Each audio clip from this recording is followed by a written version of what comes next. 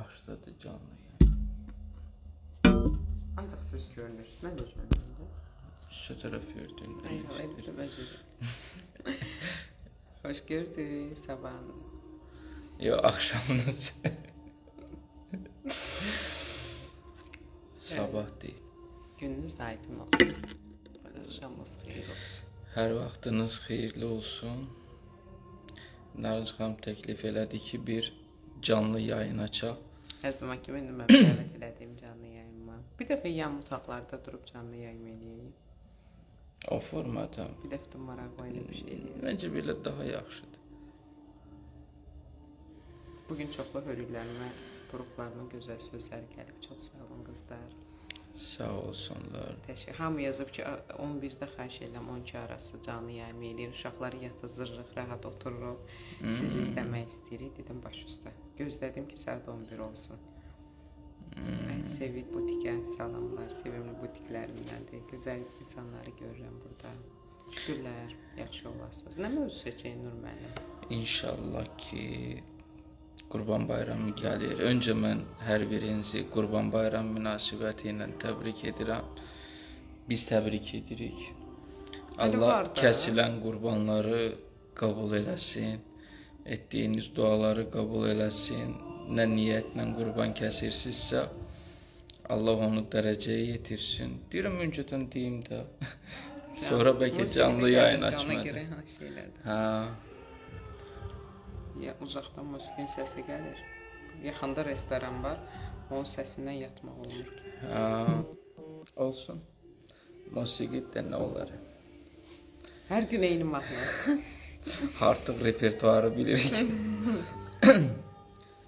Eee, Bugün istirahət günü idi, sabah. İnşallah ki düzdür bir qisimdə bayram günüdür, bir qisim insanlar çalışırlar. Həm də istirahət günü.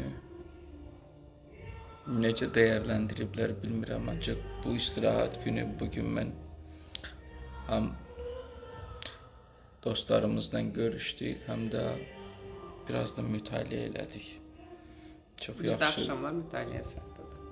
Yaxşı bir kitab tapmışıq, onun üzərindən didişirik. yaxşı məqamlar var. E, mən istəyərdim mövzunu nə üzərində qoyum Elnur müəllim? Nə E, üzərində? Xüsusən e, sual məsələn gəlir mənə e, və istəyirəm həqiqətən də bunu bildirim. Xanım deyir ki, xəyanət uğramışam. Ailə psixoloqu kimi çox uzun məsləhət alır və mən də bildirirəm ki, mərkəzimizdə var ailə psixoloqu müraciət edə bilərsiniz ya da Elnur müəllimə müraciət edə bilərsiniz. Deyir, xəyanəti bağışlamışam, keçmişəm, amma beynimdən çıxmır o fikirlər. Davamlı şəkildə onu xatırladıram, davamlı şübhə fikirlərim qalır. Telefonumda da gözüm əynindədir. Biraz ətir vurur, başlayıram. 1 ay, 5 ay, 1 il öncə, 2 il öncə mən elədiyi kadrlar, fikir, yaşadıklarım gözüm önündən keçir. Ən çox onu yazırlar ki, yəni xəyanəti sözdə bağışlamışam, amma qəlbimdə keçə bilmirəm bunu və bu məni çox incidir. Bax onlara nə tövsiyə eləyərdiniz Elnur müəllim? Ümumiyyətlə, düzdür, mövzu biraz ağır bir mövzudur. Psixologiyada belə bir ə, anlayış var. Əslində o fizikada var, psixologiyada da keçərlidir. Fizikada belə bir qanun var. Enerji itmir, heçdən yaranmır, bir şəkildən başqa bir şəkilə keçir. Psixi proseslərdə belədir. Bizim gördüyümüz və bizdə ə, təsir göstərən proses və hadisələr itmir. O şuur altında yığılıb qalır. Deyək ki, sizin uşaqlıqda elə bir hadisə olub ki, sizə yaxşı təsir edib, hər zaman o yadınıza düşəndə özünüzü yaxşı hiss edirsiniz. Elə hadisə var ki, pis təsir göstərib, ona oxşar, ə, onu xatırladan nə varsa sizdə neqativ duyğular yaradır.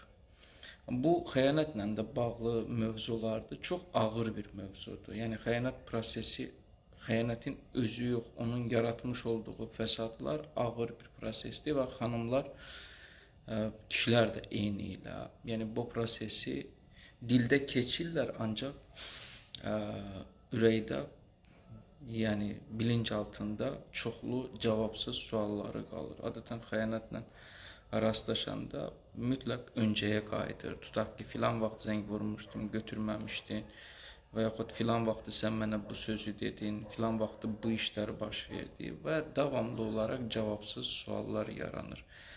Və e, heç kimə sir deyil ki, mən iş prosesində də biz rastlaşırıq. Belə hallarla rastlaşan xanımlar davamlı olaraq suallar verirlər. Necə oldu? Necə baş verdi? Niyə baş verdi? Deyək ki, tutaq ki, gezməyə gedirlərsə, anidən heç aidiyyəti olmadan dönüb həyat yoldaşından soruşa bilər ki, bu hadisə necə baş vermişdi? Hansı ki, ondan 2 saat qabaq onlar söhbəti bağlamışdılar və gəzməyə çıxmışdılar. Və yaxud yatdığı yerdə oyana bilər, deyə bilər ki, sən də oyan, dur, dur. Sən bu hadisəni mənə deyinən bu hadisə necə baş vermişdi? Çünki bu böyük bir narahatçılıq yaradır və e, ailədə çox böyük bir çat yaradır. Ona görə də bu proseslərdə o cavabsız suallar hamısına yəni cavab veriləndən sonra mövzu bağlanmalıdır.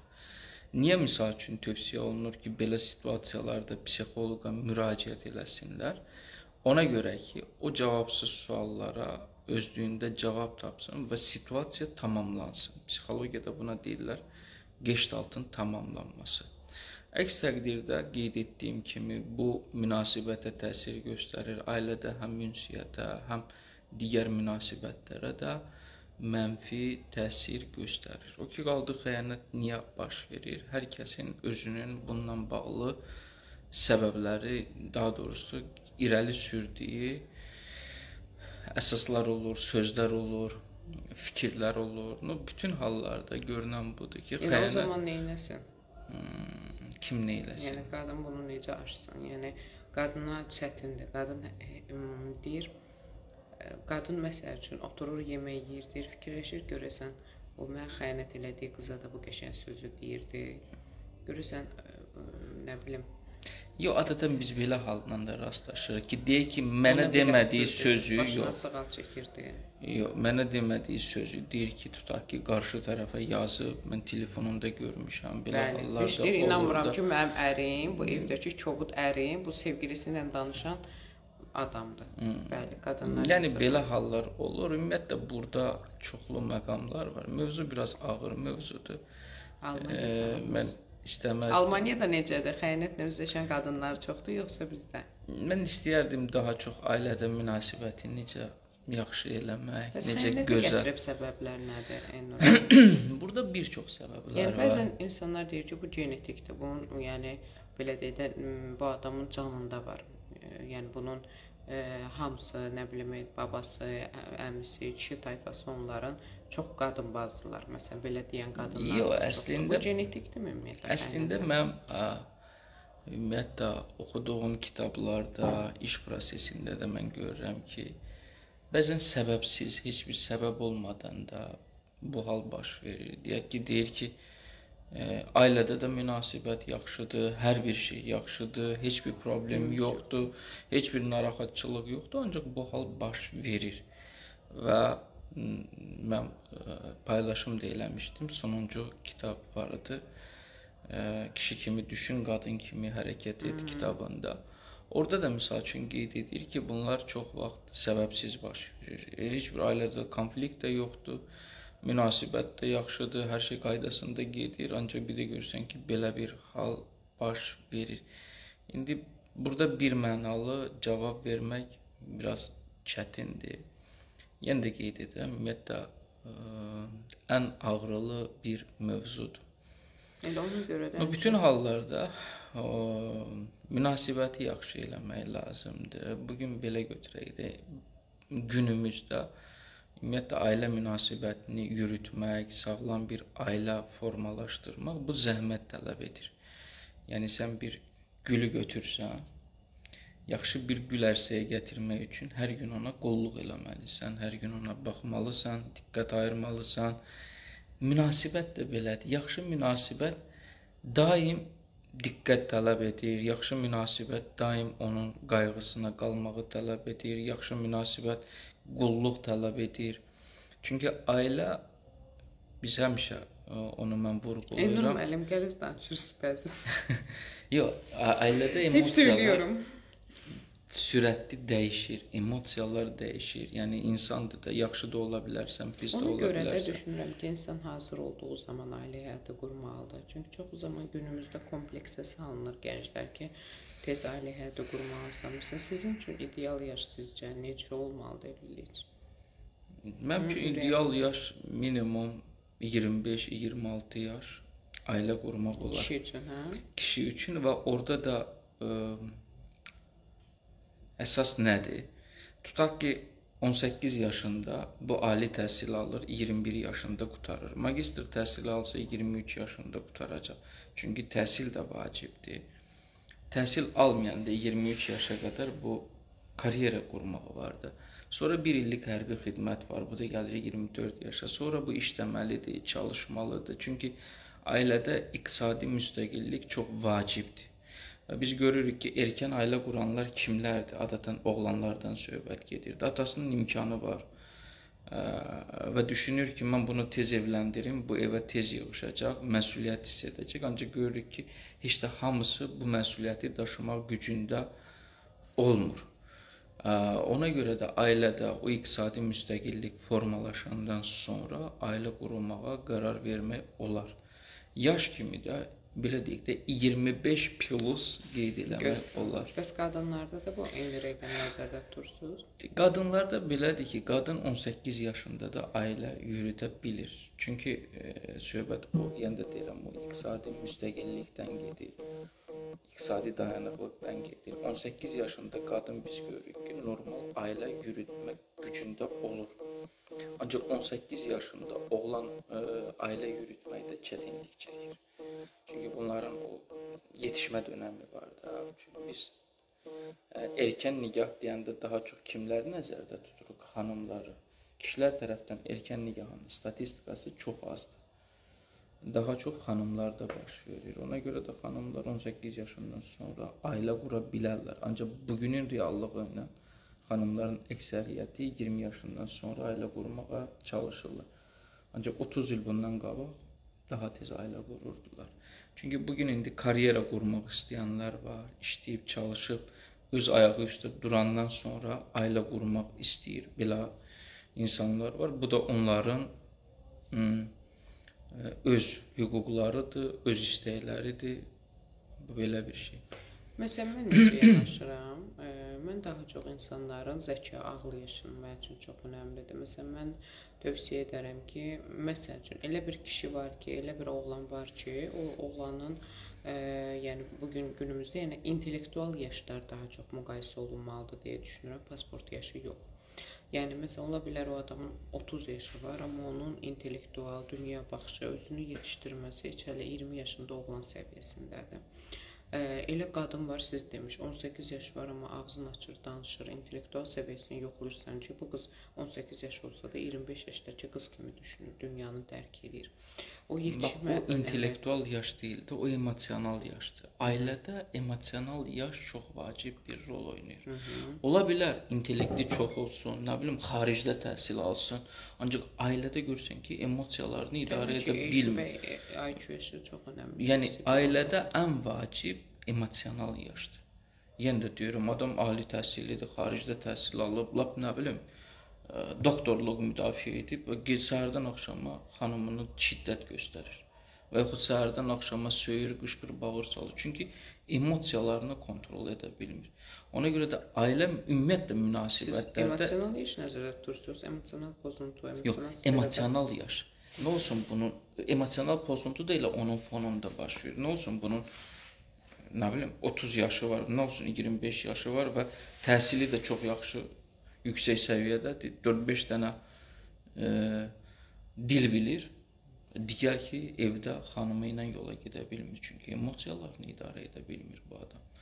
Ona görə də düzənli ailə münasibətində emosiyalarına hakim olan, emosiyalarını idarə edə bilən insan o uğurlu ailə başçısı, ailə xanımıdır. İnansız, e, elə bir ailədə də təbii ki, böyüyəndə, sonra uşaq orada böyüyən uşaqda da irəlidə davranış pozuntuları çox müşahidə edirik. Xüsusən də aşağıda mənə yazırlar ki, davranış pozuntusu ilə bağlı nə deyə bilərsiniz? Uşaq tərəfləri mən deyərəm, yeniyetmə tərəflərini Elnur müəllim deyər. Çünki davranış pozuntulu problem, problemi şikayəti ilə gələnlər bizə hədsiz dərəcədə çoxdur. Maşallah olsun 700 nəfər var. Gecə yatmamış, yatmamışıq heç birimiz saat 11-də 12 Yox, arasında. həm də Hamı diqqət oyaqdır, sağ olsun. sevgidir, zamanınızı ayırırsınız, girirsiniz və bir yerdə bir söhbət eləyirik.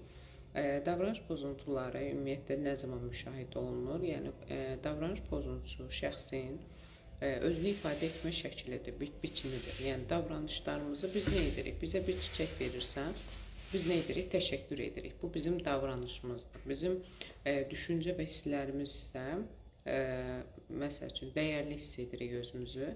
Bu bizim hissimizdir. Düşüncələrimiz nədir? Minnətdarlıq duyğusu ə, və bu minnətdarlıq belə deyək, dəyərlilik duyğusuna önə gələn davranışca məsəl üçün mən gəlib bir yanağından öpürəm və ya sənə bir qəşəng bu gün axşam yeməyi hazırlayıram ki, mənə çiçək alıb gətirdi həyat yoldaşım. Mən də onun bir xəcalətindən çıxım. Amma bir də var ki, ə, mən ə, məndə bir problem var və mən bunu davranış olaraq ə, başlayıram aqressiv şəkildə sənə ə, davranış pozğunluğu, musiqi diqqətimi yayındırır, üzr hesab elə. Ə, məsələn, mən sən mənə çiçək alıb gəlmirsən, bu gün 8 mart gündür, mən gözləyirəm və mən nə, nə etməyə başlayacağam? Başlayacağam sənə çox danışmağa. Mən sual verəcəksən ki, yemək bişib, məsələn, deyəcəm ki, hə bişib də qazandadır, get aç bax ilə qazanda gör nə bişirmişəm. Bu şəkildə başlayacağam etiraz, aqressiv davranma. Əslində uşaqlar da elədir. Uşaqlar sadəcə özünü bu şəkildə ifadə edirlər. Məsələn, uşaq başın yerə çaxır, vurur, e, dişləyir. Xüsusən mənə şikayət ən çox gəlir. Uşağın 1-2 yaşı var, hamımızı dişləyir, hamımızı vurur. Üzünə şillə vurur nənəsinin, babasının bizim. Bu nədir? Davranış pozuntusudurmu? Xeyr, bu davranış pozuntusu deyil. E, bu əslində uşağın e, bütün uşaqlarda 1-3 yaş arası üzə çıxan e, davranış biçimi deyirik, davranış modelidir. E, bu e, niyə görə bu şəkildə olur? Uşaqlarda tanıma dönəmidir və tanıma dönəmində ətraf aləmi tanıma dönəmində məsələn 3 yaş, 2-3 yaş sindromu deyirik biz ona. Türklərdə 2 yaş sindromudur, bizdə 3 yaş sindromudur. E, mən mərkəzçilik dönəmində hə o dönəmlər başını yerə vurur, çırpır, e, qışqırır, is- istəyir ki, oynadığı oyuncaq onun olsun, marketə gedir, istəyir hər şey onun olsun, əlin nəyə uzadır onu alsınlar. Bunlar artıq egosentrikdir və davranış pozğunluğuna keçid eləyir. Amma 1-3 yaş arası uşaqlarda hamının üzünə şillə vurmaq və ya damaşnik hamiyə atmaq. Məsələn, keçən səfər anam biri yazmışdı. Mən oturub yemək yeyirəm, bir də görürəm damaşnik atdı, düz stolun üstünə düşdü və durmadan gülür və ya stolun üstünə qaşıq, çəngəl, bıçağı yerə atır. E, və bunlar nədir? Bu uşaqlarda əşyavi manipulyativ fəaliyyət aparıcı e, rollu, məsəl üçün 1 yaşına qədər uşaqlarda aparıcı fəaliyyət emosional ünsiyyətdir. Məsələn, ancaq vanası ilə kontakta girmək istəyir. 1-3 yaş dövründə uşaqlar hər şeyi atan, rəngli, səsli şeyləri çox sevirlər. Məsələn, stol üstünə çəngəl bıçaq gördü, götürüb onu yerə atır. Çünki onun üçün oyuncaqdır.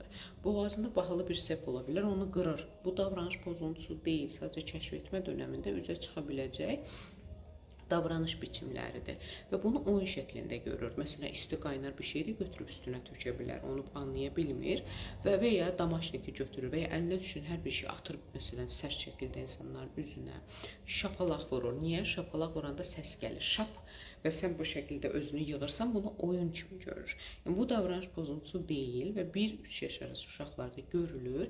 Nə etməmiz lazımdır bu davranışları görəndə? Görməzdən gəlirik. Aqressiv davranış göstərsək daha çox artıra bilər və ya gülsək daha çox bunu işlənib deyirik də, daha çox bunu artıra bilər. E, sadəcə e, məsəl üçün atdı, lap damaşın gəldi, düşdü stolun üstünə, düzdürmü? Götürün sakitcə qoyun yerə və reaksiya verməyin. Yəni heç bir reaksiya görməsə bu davranışla zamanla azalacaq. Amma tam aradan qalxması mümkün deyil. Sadəcə zamanla bu 3 yaşına qədər itib gedəcək. Amma siz onu ayıblasaz, vursaz, döysəz, əlinə şillə vururlar çox ovalda. Ayıbdır. Sən nə etdin? Tərbiyəsizsə bu uşağa niyə tərbiyə vermiş? Cəmaata şillə vurur? Yox. Məsələn, bəzən nənələrə şillə vuranda nənələr başlayır gülməyə əyləncə kimi gör. Gəlir nənəni vurun, bu nənən rəyə gedir gülməkdən və uşaq bunu daha çox artıracaq. Bizə lazım ki, davran həmin bu davranış biçiminin e, belə deyək də qəzasız, bəlasız ötürüşdürək keçək. Çünki bu bir yaş xüsusiyyətidir. Yəni buna çox da müdaxilə etməyimizə gərək yoxdur. Onun üçün də çox da narahat olmayın. Ə, və bu bizə Ümumiyyətlə indi belə də götürəndə oxuyun. bu gün ailələrdə ə, uşaq sayı da azdır. Bu da nəzərə almaq lazımdır. Və eyni zamanda bir şey də nəzərə alaq ki, bu gün uşaqların əksəriyyəti elektron cihazlardan asılıdır. Ümumiyyətlə çalışın davranış pozuntularında nə etməmiz lazımdır? Hamı yazır, uşaq da anası tənbih edəndə o da anasını dişləyib döyürdü. Bu nə etməlidir? 4-5 yaş var. Sonra bayaq da bir sual gəldi ki, 2-3 yaşlı uşaq ə, vurur, döyür. Ə, ümumiyyətlə döyən zaman uşaqlara şiddət göstərmək olmaz. Bu gün siz şiddət göstərirsiniz, o tabe olur. Amma sonra yeniyetməlik yaşına gələndə indi mənim də deyə bilər. 12-13 yaşdan sonra dili uzanacaq. O onu vurduğunuz bütün günlərin heyfini sizdən çıxacaq.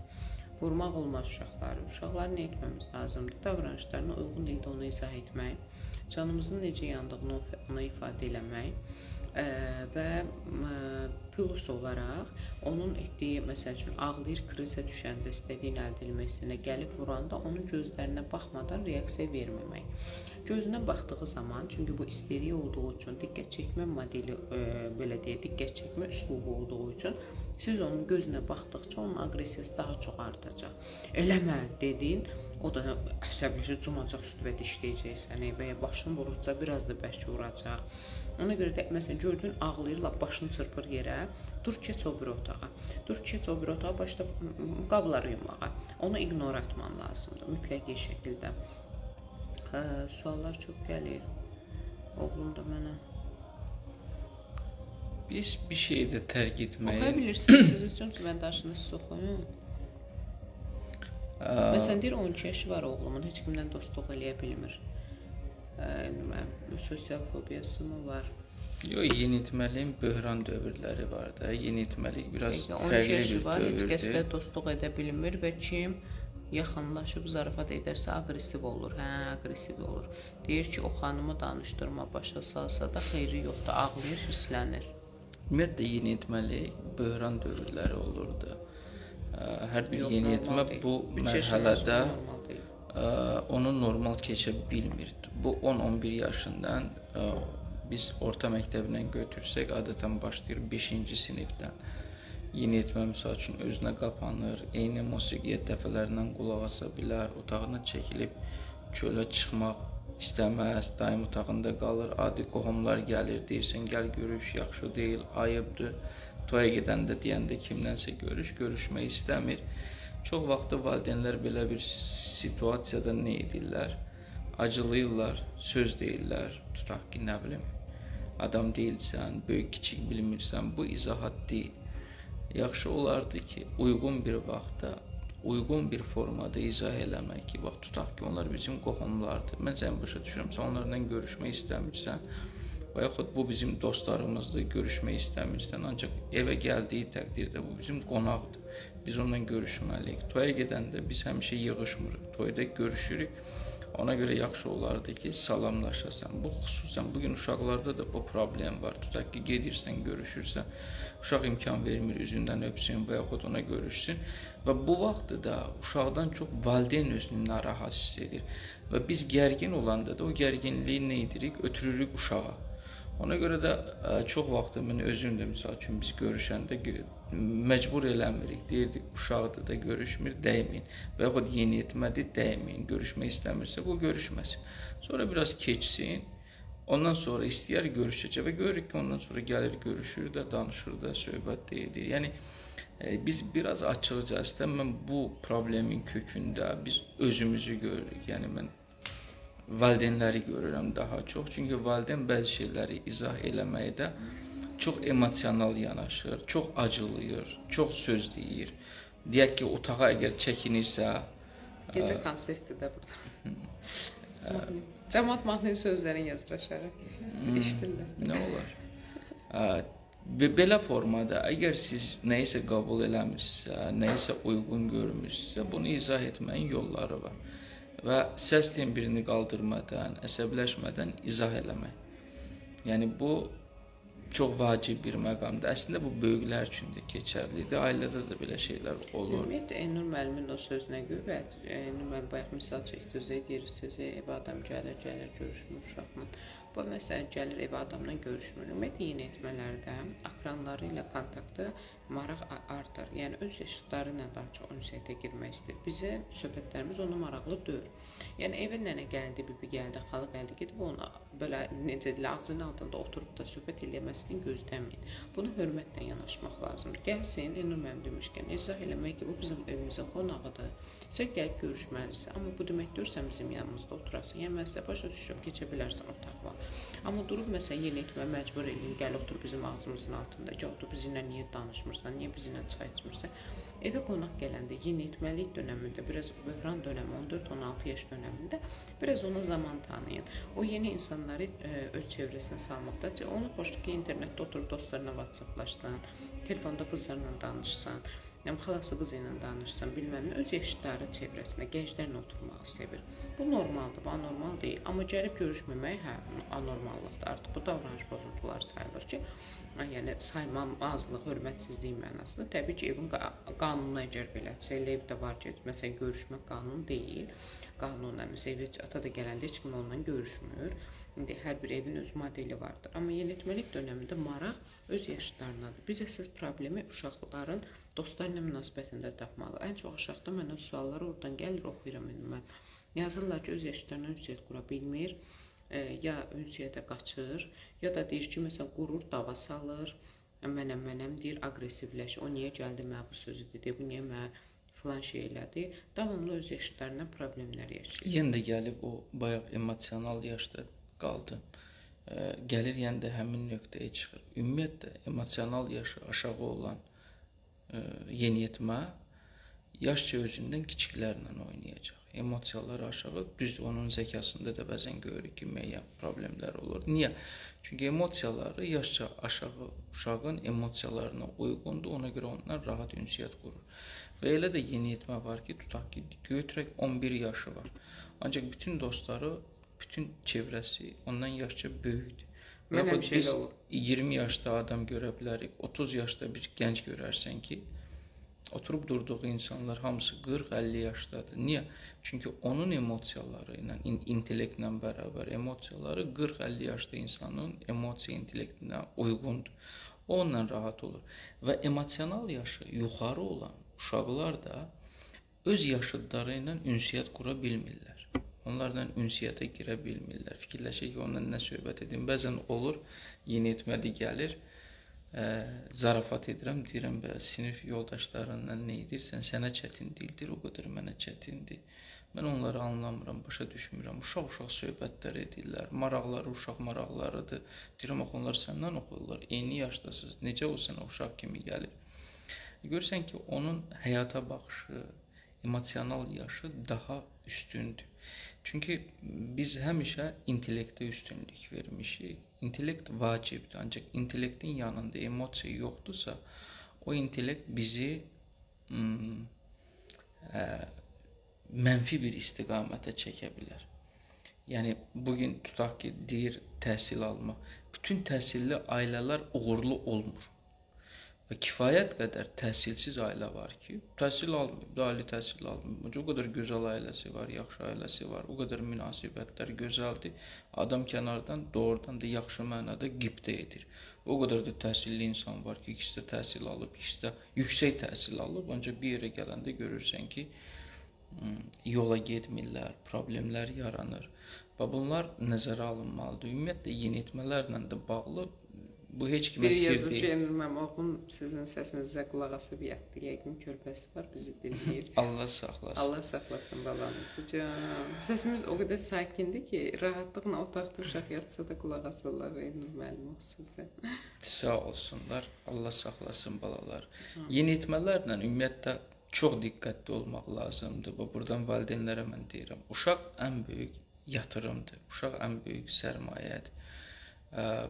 Yeniyetmələrdə əgər hər hansı bir narahatçılıq varsa, deyək ki, ünsiyyətində bir problem var və yaxud davranışında bir problem var və siz bunu problem kimi görürsünüzsə, ona doğru zamanda, doğru bir formada izahat verin. bir yeniyetmənin şəxsiyyətini alçaltmayın. Çünki yeniyetmənin belə deyək də indi şəxsiyyətinin formalaşan dönəmidir. Ona görə dediyiniz hər bir sözə fikir verin. Mən başa düşürəm, ailədir, əsəbi də ola bilərsiniz, gərgin də ola bilərsiniz. Eyni sözü 5 dəfə deyibsiz, bu başa düşməyib. No yenə də maksimal dərəcədə səbir tələb olunur. 2. Yeniyetmə övladınızı qonşu, qohumda olan yeniyetmə ilə müqayisə eləməyin. Yeniyetmələr bunu sevməzlər. Yəni siz ola bilər hansısa bir parametrdə onu müqayisə edirsiniz qohumun eyni yaşda olan uşağı ilə. Deyək ki, o çox yaxşı oxuyur, bu pis oxuyur. Şübhəsiz sizin üçün prioritet olan oxumaqdır. Çünki hər bir insanın belə deyək də münasibətdə bir prioriteti olur. Elə valideyn var ki, uşağı çox yaxşı oxuyur, ancaq pis vərdişi var. Biz nəyə köklənirik? O pis vərdişi düzəltmək üçün. Çünki insan özü belə deyək də hər şeyi mükəmməl görmək istəyir. Ən pis adamın da həsəd aparılacaq bir xüsusiyyəti var. Baxır ona hansı tərəfdən biz yanaşırıq, hansı tərəfdən biz qiymət veririk. Ona görə də bu proses kompleks götürülməlidir. Yeniyetmə müqayisə olunmamalıdır. Yeniyetmənin şəxsiyyəti təhqir olunmamalıdır və yeniyetmə qərar verilərkən də yeniyetmənin fikri alınmalıdır. Fərqi yoxdur, istirahətə gedirsiniz, fərqi yoxdur, nəsə iş görürsüz, nəsə etmək fikriniz var bütün hallarda onun fikrini ciddiyə alın. Mən demirəm onun dediyini eləməlisiniz. Ən azından fikrini alın. Əgər uyğun görmürsünüzsə, ə, izahat verin ona. Yəni, nəyə görə mən buna uyğun görmürəm? Nə səbəbə uyğun görmə, görmürəm? Yəni, ona görə də Ümumiyyətlə səbir çox vacib bir məqamdır. İstər Xanımın, uşaqla münasibətdə, istər, istər ailə münasibətində. Xanımın biri yazıb o qədər qəşəng danışırsınız. İndi evdə qonağım var, amma qonaqları deyir, atırıb oturub sizi izləyirəm. Can çox sağ olun. Sağ olsun. Hər kəs salamlayıram. Əslində mövzular çoxdur. Çoxdur, çox. Yəni, və hətta bir sual da yazıb mənim istədim e, yeniyetmə mövzusuna paralel olaraq şeyi də onda onda cavab verim. Çünki aşağı bayaqdan yazırlar ki, niyə biz saymırsınız, niyə suallarımızı oxumursunuz? Vallah çoxdur suallar. Ona görə çox da zorluq yaşayıram. Çünki gəldikcə sürətli yuxarı keçir yazılar, oxumaq olmur. E, lütfən mən bu videonu qayd etməyə çalışaram. Siz girib suallarınızı ora yazarsınız. Orada komment kimi yazarsınız, şərh kimi. Sonra mən girəcəm, onlar bir-bir hamısını cavablayıram. Narahat olmayın. E, və hansı mövzular istəyirsə deyin, çalışaq siyahı tutarıq. Arada bir belə axşamlar uyğun bir vaxtda e, danışmağa başlayarıq, yardımcı olarıq. Bir ən çox sual görürəm ondan gəldi ki, uşağım mənə yatmır. Ancaq ona uşaq mənə yatır. Bütün 13 yaş var, mənə yatır. Uşaq oldum uşaq. Yəni deyir, 13 yaş var belə qorxur. Yəni, Yox, belə hallar çox, olur. Nəinki 13, 14 yaşı var, hətta ana onu çimizdirir, ana onu təmizləyir. Belə şeylər simbiyoz bağlılığı var. Biz praktikada mən bu cür şeylərlə çox demirəm. Rastlaşır tez-tez rastlaşıram, ancaq ki, nə qədər zədələyirsən. Yox, ana ilə mən orada da nə görürəm açıqcası. Ana ilə atanın münasibəti yaxşı deyil. Ana bütün diqqətini yönəldib uşağa. Onun dırnaq arası belə deyək də, həyat yoldaşı uşağıdır. Və belə olanda görsən 14 yaşı var, hələ də ana onu təmizliyini də ana görür, ana ilə yatıb durur. Və inanın Elnur müəllim nə qədər olur ki, biz uşağın yatmaq problemini düzəldirəm. Məsələn üçün uşaq artıq ana ilə yatmır da, sərbəst öz otağında ya da öz yatağında yatır. Məsələn ana bu səfər yata bilmir, gəlir, üstün açıq qoydu, tərrədi, görüm soyuqladı. Ana deyirəm, ana mən səni psixoloqa salacağam. Mən uşağı düzəltmişəm, səndən ayrılıb, amma sən imkan vermirsən o qanadlanıb uçsun yuvadan. Sərbəst olmalıdır. Ümumiyyətlə uşaqlarda tək qalmaq, tək yatmaq qorxuları, otaqdan otağa qaranlıqda keçmə qorxuları, fobiya ola bilər. Fobiyalar var uşaqlarda. Onlar misal üçün çox vaxtı dəhlizdə işığı birini saxlayırlar ki, otağa işıq keçsin və yaxud televizoru yanmış vəziyyətdə saxlayırlar. Orada taymeri qoyurlar ki, bilir ki, yarım saatdan sonra yatacaq. Ondan sonra televizor avtomatik sönür. Uşaq yeniyetmələrdə olur belə fobiyalar olur ki, qabaqlayıcı Maşallah 823 nəfərik. Yəni müxtəlif formalarda olur. Önəmli, faydalı olur. Hətta minnət çataq. 10 nəfər də olsa yetərlidir. Mən daha çoxdan gözləyirəm. Çünki bilirəm ki, xanımlarla dərdləşməyi çox sevir xanımlar. Biz mənə gedir. Mən bütün mesajlarımı özüm oxuyuram. Biz nə gözəl sözlər, fikirlər yazırlar. Bilirəm qəşəng e, Mən çox sevinirəm ki, e, bir qadın həmrəyliyi olur. Var. Mən mən həqiqətən də qürur duyuram ki, həqiqətən qadın qadını paxılı deyirlər. Mən indiyə qədər səhvimdə elə bir şey görməmişəm. Hansısa bir iradan bildirə bilirim, nə bilim burnunuz belədir, ya nə bilim filan şey belədir, amma normal insan kimi vaxt bir sərt ə, çıxış, bir şey, bir anlayış göstərir. Məsələn deyiblər burnunuzu əməliyyat eləmək istəmirsiniz. Narsan deyirəm, yox, mən hələ düşünmürəm. Hə, hörmətlə yanaşırlar. Yəni, Eyni bir, bir Eyni insanda iki dənə duyğu ola bilməz. Bir insanın içindəki nifrət varsa, orada heç vaxt sevgi qərar tuta bilməz.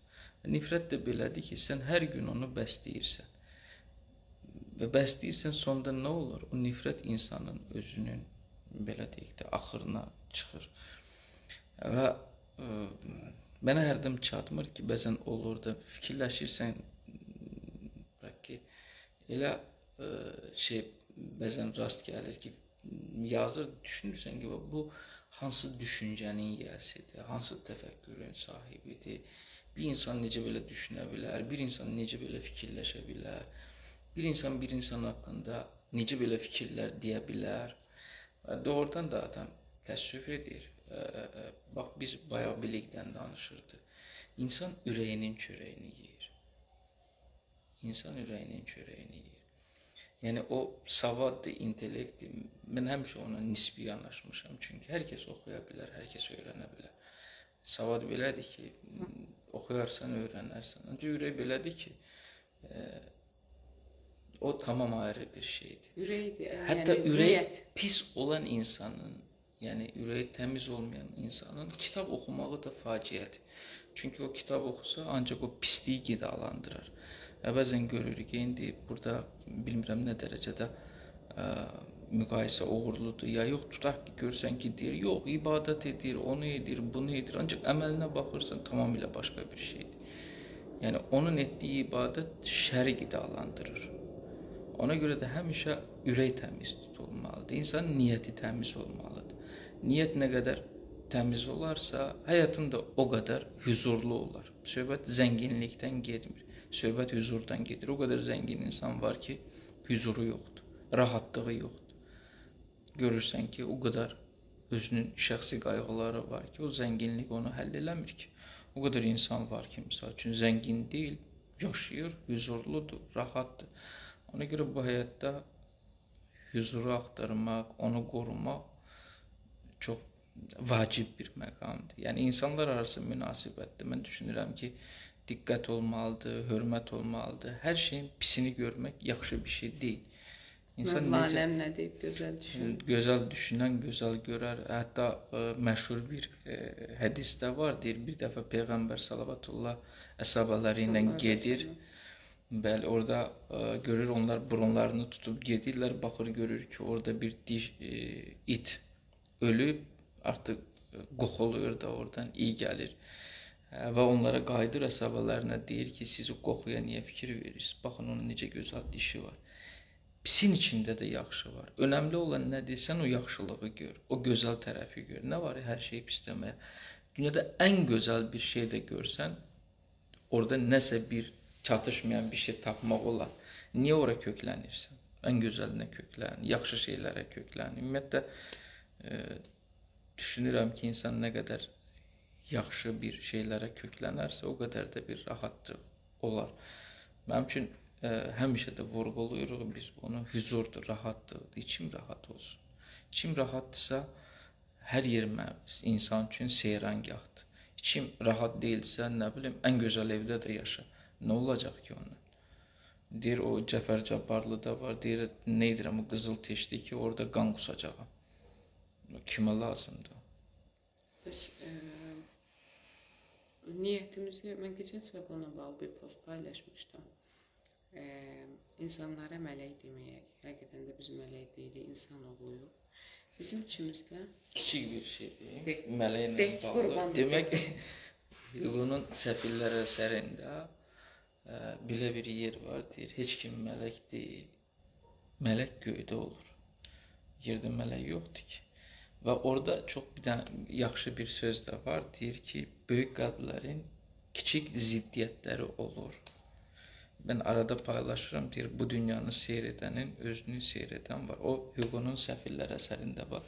Mənim yadımdadır, mən Səfilləri oxuyanda 3 dənə balaca dəftərim vardı. Orada qeydlər aparmışdım. 3 dəftər oradan söz çıxarmışdım. Xüsusən Qavruş ə, öləndə orada kitab oxuyanlar bilər, səfirlər. Qavruş öləndə ağlamışdım mən ki, Qavruş niyə öldürdün? Hətta Hugoya belə acılayırdım ki, sən onu niyə öldürdün? Saf, məsum bir ə, uşaq idi da. O niyə ölməlidir? ha belə hallarda olur. Mən hə, yeniyetməlik baxımına gətirdim. hə. O dönəmlərin kitabı da əsəridir. Ə, mən o paylaşmışdım onunla bağlı bir yazı həqiqətən də o mələklər göydə olur, yerdə yox. Yəni biz də insan oluyuq. Yəni hə, məsələn bir, bir yaxşı bir insan görə bilərik. Deyirik, ay Allah, bu nə yaxşı insandır. Amma bu o demək deyil ki, bu insanın qəlbində pis şeylər keçmir. Keçir, əlbəttə keçir. Amma o bunları kontrol edə bilir. Yəni bunları hərəkətə, dilinə, ə, məsələn bunu özünü necə deyirlər, dilindən zəhər kimi qusmur, fikirlərindən keçirsə onu idarə etməyə çalışır, onu hərəkətlərə çevirmir. Yəni hamı pis eləmə nə var? Vallahi hamımız pisi rahatlıqla eləyə bilərik, çox rahatlıqla. Pis eləmək daha asandır. Amma ə, bir yaxşılıq eləmək daha çətindir. Biz də, məsələn, mən də yaxşı insan özümü ə, məsələn hesab edirəm ki, bu deməkdir, mənim ağlımdan pis şey keçmir, keçir. Amma mən onu idarə eləyə bilirəm. Bax, mən elə adamları sevirəm ki, yaxşı insan görəndə həqiqətən də sevinirəm ki, bu adam gör nə qədər güclüdür ki, o içindəki pislikləri, pis duyğuları bastıra bilir, kontrol edə bilir və onunla baş edə bilir. Daosizmdə belə bir ə, e, cümlə var. Daosizm Çin fəlsəfəsinin ən böyük qollarından biridir. Ümumiyyətlə Çinin ideologiyasının, Çin dövlətinin ideologiyasının formalaşmasında böyük rol oynayır. Orada deyir ki, Su dünyada ən yumşaq şeydir. Ancaq ən bərk şey də su dağıdır.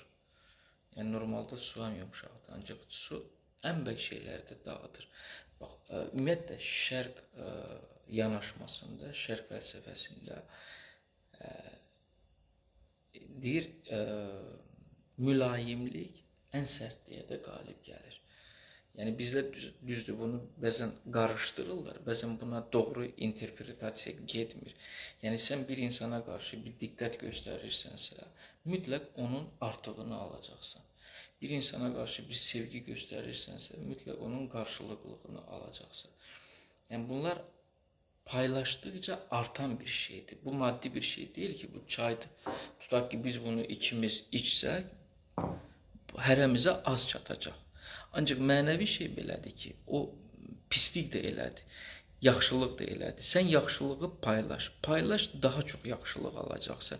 Hətta müasir dövrdə yazılan məsəl üçün kitablarda da biz görürük ki, deyir sevgini paylaş ki, daha çoxunu alasan. Maddi şeylərdə paylaş ki, daha çoxunu ala biləsən. Niyə deyirlər? Məsəl üçün kömək edin, dəstək olun, e, imkanı az olan insanlara. Sən ə, paylaş ki, ala biləsən. Hətta mən ə, e, sonuncu bir kitabda da orada yazılıb ki, tutaq ki, qazancın bəlli bir qismini paylaş. Adətən Avropa ölkələrində bunu kilsəyə verirlər, çünki orada insanlar arasında münasibət qohum doğma münasibəti zəif inkişaf edib. Onlar çox vaxt belə şeyləri kilsəyə tutaq ki, və yaxud uşaq evinə və digər yerlərə iyanə edirlər ki, orada insanlar üçün sərf olunsun. Bizdə insanlar bir-birinə bağlıdırlar. İndi doğmalara, yaxınlara və yaxud ehtiyacı olanlara mütləq paylaşmaq lazımdır ki, daha çox belə deyək də əldə edəsən. Mən sevgi ilə bağlı, yaxşılıqla bağlı, gözəl xüsusiyyətlə də bağlı nə qədər çox Təbəssüm bəxş elə ki, sən təbəssümü də ala biləsən. Bunlar düşünürəm ki, yaşam üçün vacib bir nüanslardır. Yoxsa sən kin e, yayacaqsan, nifrət yayacaqsan, daha çox nifrət alacaqsan. Çünki orada e, belə deyək də yanaşmalar var. O daosizmdə dediyin o su ilə bağlı da deyir yumşaqdır, ancaq bərk şeyləri də dağıdır. Başqa? Başqa gəz başına çıxam deyəsən yuxuz gəlir. Mən ümumiyyətlə səhərlər çox erkəndən oyanıram. Biz zaten 4-5 saatlarında oyanırıq. Ona görə də mənim saat 11-də həmişə deyirəm toyuq saatımdır. Mənim yəni 11-də yuxu saatlarımdır.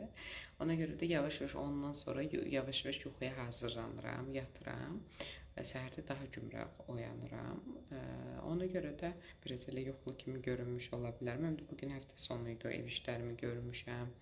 Qonağımız olub, gözəl insanlar, sonra uşaqlarla vaxt keçirmişik. Biz evdə də ana-atayıq. Ona görə bazarımdan kiçik bir pay qaldı bizə bu gün bu canlı yayım. Biraz da kitabımız, çayımız, mühabbətimiz. Bir də suallarla da bağlı biz ümumiyyətlə bizə verilən sualları cavablandırırıq. Yəni 900 Directdə də yazanda, məsəl üçün mən Cavab. onu həmişə cavablandırıram. Tam rovna bunu skrin eləyin lütfən 900 düşsün.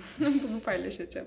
900 gözəl insanlarla bir yerdəyik. Əgər burada 902. hansısa bir suala cavab verə 900 bilmədiksə, rəqəm olanda skrin eləyin. onu siz e, mənim də Nə olar, nə Instagrama yazarsınız? yaza bilərsiniz. Narınc xanıma da bacardığımız qədər cavablandırarıq. Yəni biz çalışırıq ki, heç bir sualı cavabsız saxlamayaq.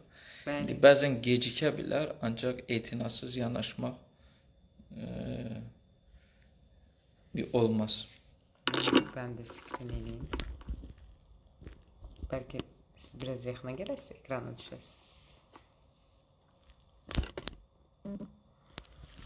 Ə, Xahiş edirəm nə olar ə, biz də biraz skrin elərsiniz. Mən çox sevirəm. Ə, şey canlı yayımlarımızı skrin eləyib saxlayıram xatirə kimi, amma özüm əlimi görürsüz ki, skrin eləyəndə üzümün yarısı düşür çox yaxından. Çox da başım çıxmır hələ də bundan canlı yayımdan. Ona görə nə olar xahiş etsəm indi bir iki dənə skrin eləyib şirin qızlar mənə göndərə bilərsiniz. Mən də paylaşım. Ə, bilirəm birazdan ə, qəşəng skrinlər eləyib qızlar mənə yollayacaqlar. Çünki həqiqətən də çox istəyirlər və bir, bir dəfə yadıma gəlir ümumiyyətlə ə, dedim bir də görürəm yuxarıdan durmadan Orada bir sual da yazmışdılar ki, siz hətta minə çatacaq deyir. Aha, yazıb siz dalaşırsınız. Dalaşmırıq. Çünki bu sualı çox verirlər. Bu onu da verirlər. deyim. Ümumiyyətlə psixoloq özü də insandır. Psixoloq özü də insandır. Psixoloqun özündə narahatçılığı ola bilər, özü də gərgin ola bilər. Psixoloqun üstünlüyü nədir? Öz narahatçılığını idarə etmək üçün alətləri çoxdur. Yəni üsulları var ki, tutaq ki, əsəbi necə idarə eləmək, stresi necə idarə eləmək. Alətimiz çoxdur. O bizim də məsəl üçün olur da indi sözdür də üst-üstə düşməyə bilər. Ancaq oturub danışırıq da, müzakirə də edirik. Əsas odur ki, aydınlıq gətiririk. Çünki çalışmaq lazımdır, kin olmasın. Çünki bir ailədə kin olarsa olar. tərəflər arasında bu Yox, çin olmur. Biz həmişə da, da yəni sözümüz sonra fəsad verir. Sözümüz çəp gələndə bizim mən bir çox yaxın rəfiqəm var, Vüsalə, Vüsaləmə salam deyirəm, öpürəm onu. E, o mənim həyatımın demək olar çox anlarında bir yerdədir. Biz elə olub süfrədə indi biz güya atışırıqdansa bir dalaşırıq güya. Mənim rəfiqəm Həmişə deyirəm, dönür. bu sizin dalaşmağınızdır. Bilirsin da belə baxır. Deyir indi siz nə edirsiniz ki? Siz indi dalaşırsınız. Deyirəm hə indi biz burada Razburqa çürüdürük. biz dalaşırıq əslində. Amma danışanda da bu şəkildə danışırıq. Məsələn, hə, sən elə düşünürsən ki, bu belə olmalıdır. O da deyir, yox, mən elə fikirləşmirəm Narınc. Məncə sən burada doğru yanaşmırsan.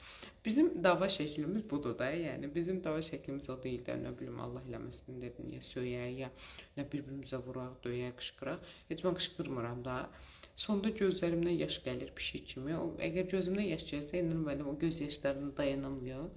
Ondan sonra Yox, ümumiyyətlə Ondan sonra da şey olur da, mövzu bağlanır, sonra sakitləşəndən sonra mövzuya siz qayıdırıq. münasibətə bağlıdır. Adətən əgər qadın qışqırırsa, deməli kişi şərait yaradıb ki, qadın ona qışqırır.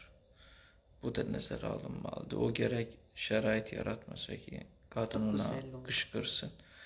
E, hörmət hörmətə bağlıdır. Mən düşünürəm ki, hər bir insan birinci növbədə özünə hörmət eləməlidir. Sən özünə hörmət elə, sənə digər insanlar da, evdə də hörmət edərlər. Və Keçən səfər Bu qorunmalıdır. Kiçik bir elə misal çəkmək istəyirəm onun üstündən. Ə, səhər oyanmışdım. Bilmirəm, Elnur mənim gərgin idi. Sonra mənə dedi ki, mən ə, narahat yuxu görmüşdüm. Ona görə biraz gərgin idi. Gərgin olduğunu düşündüm. Mən gəldim, dedim ki, axşam ə, bir görüşüm görüşə dəvət ediblər bizi. Ə, filan a- adamdır. Mən də bu adam haqqında məlumat verirəm Elnur müəllimə. Elnur müəllim biraz belə mənə elə bir çobud yana cavab verdi. Dedi, bildim də, bildim həmin adamı. Mən dedim ki, tanıyırsan, filan kəs var idi, toyuna getmişdi, tanıyırsan, filan adamdır. Mən bunun indi təqdimatını edirəm Elnur Elnur müəllimə. Elnur müəllim biraz mənə sərt reaksiya verdi və mən baxdım, dedim nə olub Elnur? Mən sənə nə dedim ki, sadəcə biz dəvət ediblər gedəyə getməyə və birdən yadından çıxar deyə mən adam haqqında sən məlumat verdim. Deyəsən biraz çox danış məlumat verirdim. Elnur müəllim xatırladı o adamı, amma mən elə durmadan filan şey belə idi, filan şey qadınam da biraz emosional danışırdım. E, və e, gördüm Elnur ki, yox mən nə dedim ki, başladı bir-birimizdən danışmağa və gördüm ki, bu mövzu e, kifayət qədər yəni məni incidəcək. Nə dedim? Sustum. Burada dedim yaxşı. xanımlar çoxdur. Bu mən kiçik bir haşiyə çıxım. Ümumiyyətlə qadınlar detalçıdırlar. Tutaq ki, bir şey deyəndə o qədər təsvir edirlər. E, 992 yəni bu təsvirdə bəzən qarşı tərəfi olmamışam, e. ə, yora bilir. Mən həmişə deyəndə deyirəm ki, bax bala, mən başa düşdüm sən nəyi deyirsən, çünki o deyəndə sən ora köklənmə. Yox, mən heç çox minə çatmamışam. Ona görə mənə çox maraqlıdır ki, min min necə olacaq. Ə, və o məsələdə də Narınc xanım qeyd edəndə Mən deyəndə mən tam xatırlayıram, toyda da olmuşuq, toyda hətta rəqs də eləmişik. Deyirəm, bildim də sən ə, kimi deyirsən, keç əsas məsələyə. Deyir ki, nə bilim, ə, a- bu gün bir ə, xanım görüşə dəvət edib, ailə görüşməsi